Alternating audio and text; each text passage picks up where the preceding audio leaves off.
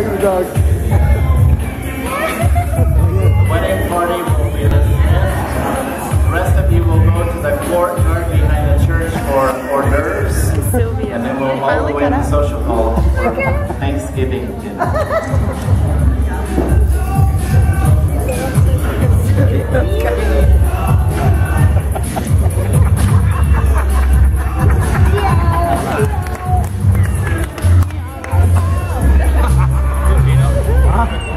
감사합니 다.